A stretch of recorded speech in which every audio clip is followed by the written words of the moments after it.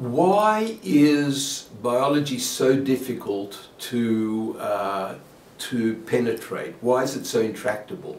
The answer is because even the simplest biological system is extraordinarily complex.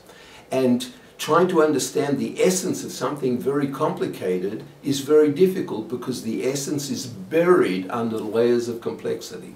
And my analogy for the, the issue is to compare two planes, a, a, modern Boeing 747 and the Wright brothers 1903 model. Now if you want to fly somewhere, you want to get into a 747 because it functions very well.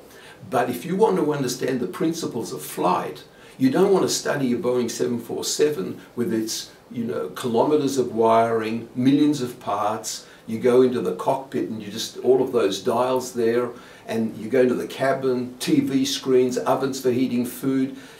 You know, what is important to making this thing fly? There's just too much, you don't know where to start. You go to the Wright brothers 1903 model, and everything there is essential for flight, and by studying that, you can get a good idea of the principles of flight.